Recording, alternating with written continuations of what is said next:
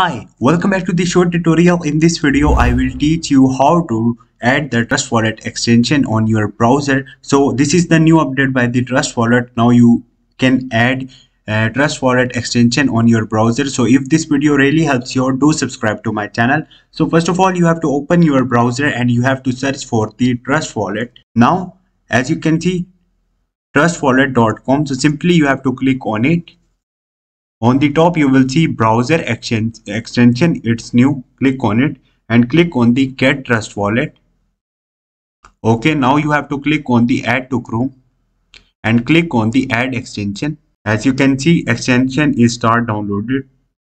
Now simply turn on synchronization.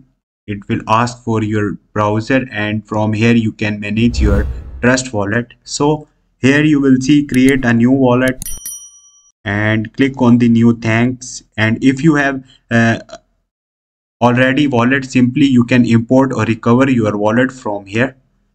So this is the way. If you want to create it click on the and here you have to enter the password.